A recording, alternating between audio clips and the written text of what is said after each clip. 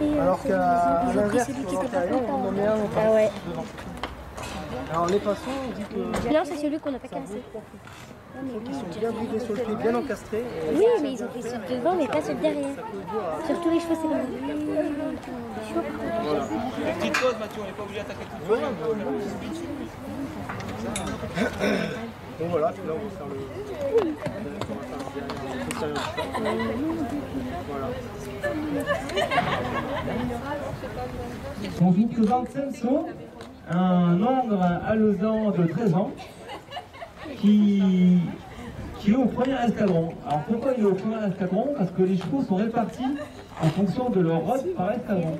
Alors le premier escadron, ce sont les chevaux alezans. Le deuxième escadron, les chevaux B. Et le troisième escadron, les chevaux bruns. Alors les chevaux sont achetés à l'âge de 3 ans chez des éleveurs français passe ensuite à une formation au centre d'instruction à Saint-Germain-en-Laye qui s'appelle le débourrage. Donc là, on va éduquer le cheval de façon à ce qu'il accepte le cavalier, la selle et également l'arnachement ainsi que le filet. À l'issue de cette formation, le cheval est affecté en escadron en fonction de sa robe, également à un cavalier qui normalement le garde pour toute sa carrière. Les chevaux sont réformés vers l'âge de 15 à 16 ans. Généralement, c'est le cavalier qui récupère son cheval. Sinon, le cheval est proposé également dans le secteur civil pour la modique somme d'un euro sous condition de monter un dossier et de ne pas tirer profit du cheval, c'est-à-dire de la revente ou alors de faire du concours de cet obstacle. Parce que le cheval, après 15 ans, il hérite une bonne, carri- une bonne retraite dans un pré avec de l'herbe bien fraîche.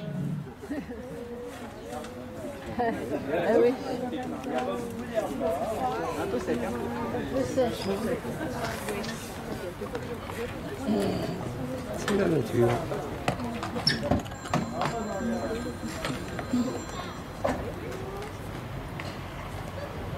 Bon là tout à fait, tout à l'heure on a ferré les antérieurs de Celso et là on va ferrer les postérieurs, donc les, les fers arrière, on va lui changer et on va utiliser la technique de la ferrure à la française. Alors à la française c'est quoi? C'est tout simplement un maréchal ferrant qui va venir à l'aide d'une patte longe tenir le pied du cheval de façon à ce que le maréchal ferrant puisse travailler face au cheval sans avoir la contrainte de tenir le pied du cheval.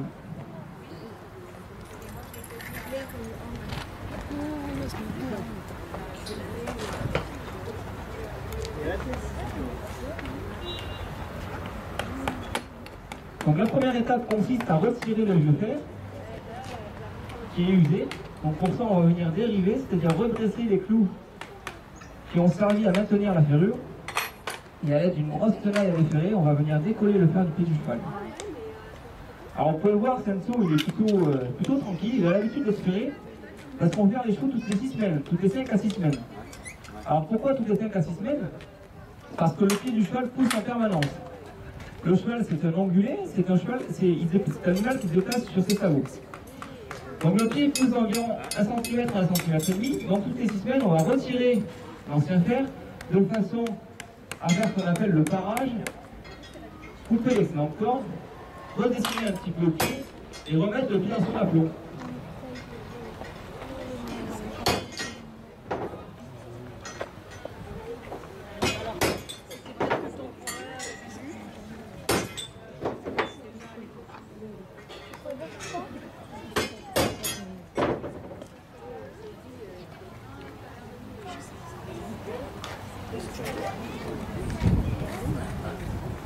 Alors nous avons que des hongres, quelques juments. Tous les, chevaux sont castrés, il n'y a pas d'étalon pour un souci de comportement. Il y a certaines juments, mais très peu, elles ne sont pas très nombreuses. Euh, le régiment préfère avoir des chevaux hongres, donc des entiers qui ont été castrés, qu'on appelle le cheval hongre, qui sont euh, beaucoup plus dociles.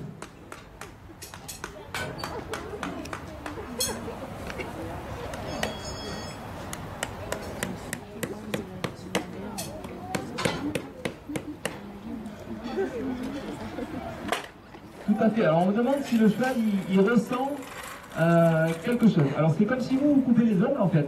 c'est exactement pareil. Alors bien entendu, il ne faut pas couper les ongles trop courts, sinon on a mal, surtout que le cheval, lui, il marche sur ses ongles. Donc c'est au maréchal ferrant d'évaluer la quantité nécessaire de pieds à enlever, mais c'est complètement insensible pour le cheval. Vous allez voir pareil, notamment lorsque le maréchal ferrant va venir appliquer le fer chaud sur le pied du cheval, ça dégage de la fumée, ça paraît impressionnant. Et vous allez voir que le cheval, il a l'habitude, hein, puisqu'il est espéré toutes les 5 à 6 semaines. Et il n'a pas du tout mal.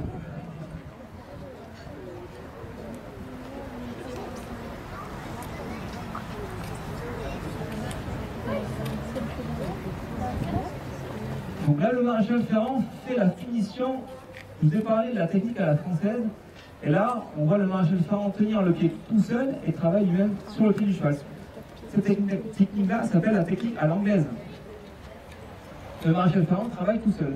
Donc il a à la fois la contrainte de devoir porter le pied du cheval, mais également il doit pouvoir avoir les bras libres de façon à pouvoir travailler sur le pied du cheval.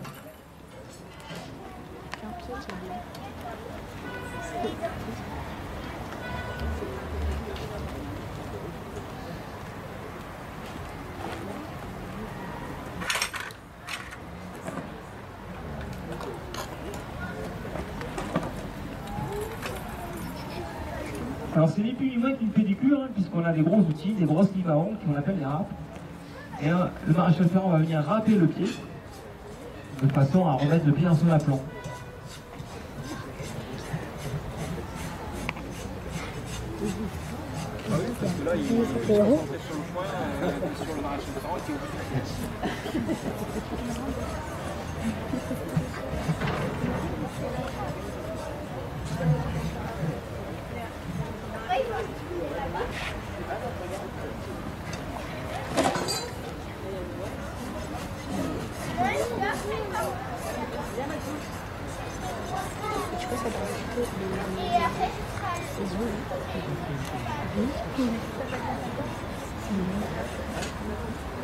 Comment tu peux tourner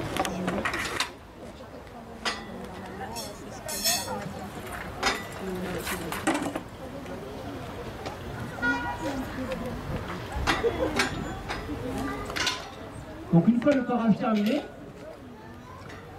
le maréchal ferrant a remis son fer à chauffer, donc dans la, fourrage à charbon, il va le monter en température à environ 800-900 degrés, de façon à pouvoir le mettre à la tournure du pied. Alors on n'a pas d'unité de mesure, on travaille essentiellement à l'œil, c'est-à-dire que le maréchal visualise la tournure du pied et essaye de retranscrire cette tournure sur l'enclume à l'aide du marteau.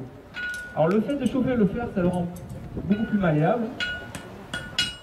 C'est pour ça que le fer est chauffé et qu'ensuite il a appliqué chaud sur le pied du cheval pour voir ensuite l'empreinte du sabot sur le fer.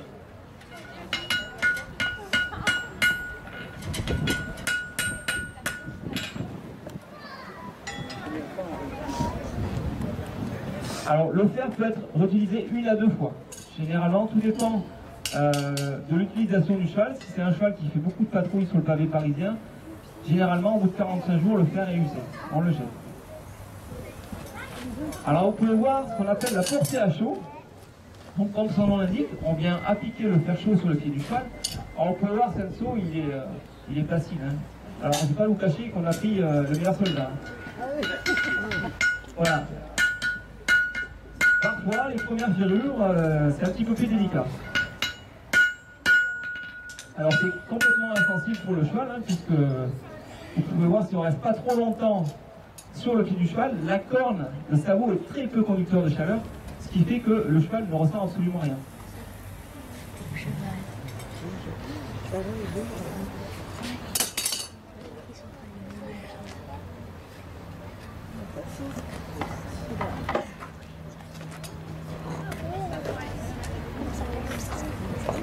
Alors le fait d'avoir un teneur de pied soulage quand même pas mal le maréchal ferrant.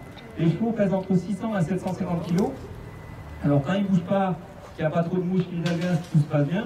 Mais il suffit que le cheval euh, veuille reposer le pied au moment où le maréchal ferrant euh, est dessous, ça peut être l'accident.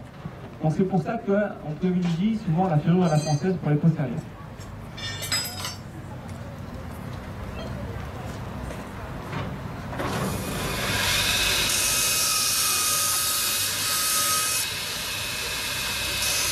fille ou un garçon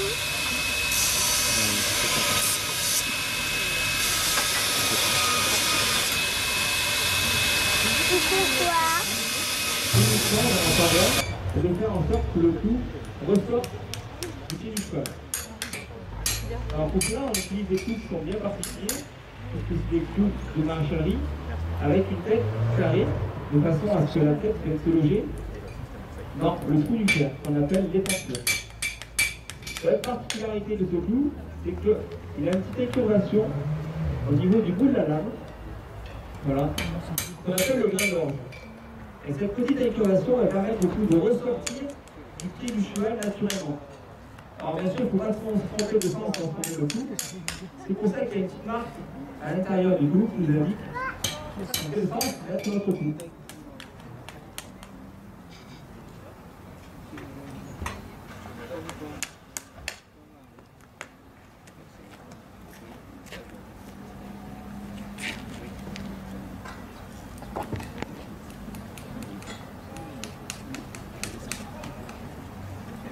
C'est toi qui portes les deux. De toute façon, c'est pas bien que tu te salisses les mains, les miennes elles sont déjà sales. Maman, je vais voir manger. Moi qui les ai Oui. C'est quoi? Alors, le métier de maréchal ferrant demande à la fois force mais également finesse, puisqu'il faut qu'il soit capable des fers, et également d'être assez fin pour pouvoir planter un coup avec une marge d'erreur qui est relativement faible, puisqu'il n'a que 2-3 mm pour pouvoir mettre son coup dans le pied du cheval.